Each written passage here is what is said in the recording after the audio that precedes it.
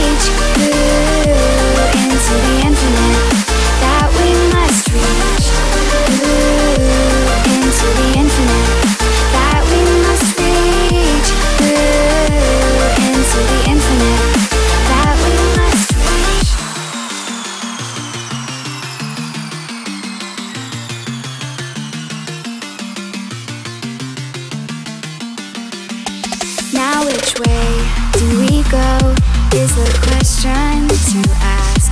There are so many choices that it's hard not to look past. What is real and what is fake, and the risk we have to take.